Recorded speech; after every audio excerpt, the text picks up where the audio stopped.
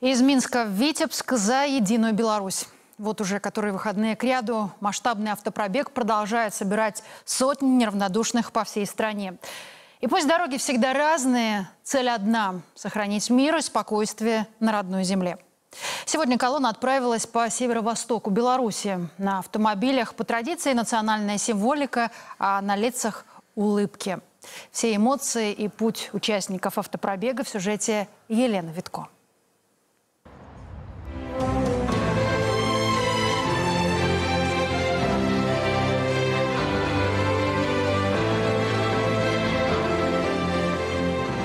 Подобные встречи уже стали национальным трендом. За единую Беларусь. С таким девизом каждые выходные неравнодушные автолюбители преодолевают сотни километров. Ранее, например, побывали в Бресте, на прошлой неделе в Гомеле. Сегодня же автопробег держит курс на север страны. Старт по традиции дали в Минске. Затем колонна отправилась в Смолевичи, Жодино, Крупки, Новолукомль. Всего в маршруте 16 населенных пунктов. Это не первый уже пробег э, для меня. Фактически стараемся участвовать в каждом автопробеге. Ну, уже здесь, наверное, все, э, кто участвует, уже как какая-то большая семья, то есть дружественная атмосфера. И мы участвуем, э, потому что нам не безразлична судьба нашей страны. Мы не выступаем против какой-то позиции, мы выступаем за свою позицию в первую очередь. Поэтому э, противоборство – это не наша тема, и мы показываем, что нас много, мы объединяем людей. Мы более такие э, доброжелательные, мы не, не выходим, мы не, не швыряем никуда эти камни, никакие, ничего. Поэтому мы спокойные люди, мы мирно мирно высказываем свое мнение. Может быть, э, где-то кто-то заблудился в этой толпе и не может найти выход. Что я считаю, что вот этими акциями действительно э, люди поймут, что мы едины, мы должны быть едины. И у нас э, довольно-таки уверенное и очень хорошее государство, что у нас у всех, кто может и кто хочет, у всех есть перспективы.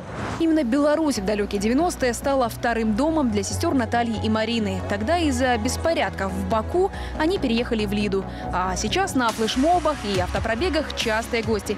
Не хотят здесь повторения страшной истории. Увидели эту страну, где чисто, где спокойно. Да, и то, что сделал президент с этой страной, все мои друзья, я мы была в Баку на Новый год, у нас открылся там в Баку магазин белорусский. И когда я привезла им подарки, они все смеялись, потому что открывали холодильники, говорят, у нас все это есть, говорит. Огромные очереди, да, вообще такая популярность. Россия на Северном Кавказе, я каждый год езжу, у меня там родственники, да. друзья. Пятигорск, Кисловодск, Краснодар. И все мои друзья, все за президента, все за стабильность, все за процветающую Беларусь. переживают. И все видят, они приезжают в гости, видят, как из года в год все растет, красивеет, ну, становится намного-намного лучше.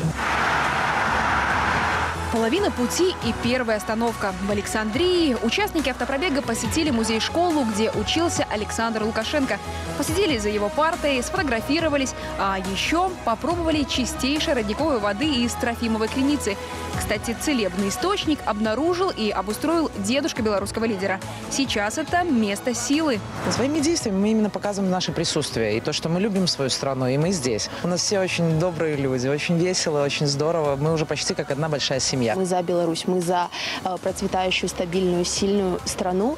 И мы хотим показывать, высказывать активно наше мнение. Присоединиться к автопробегу мог каждый. Орша, Дубровна, Богушевск. Колонна заметно росла с каждым поселком и городом.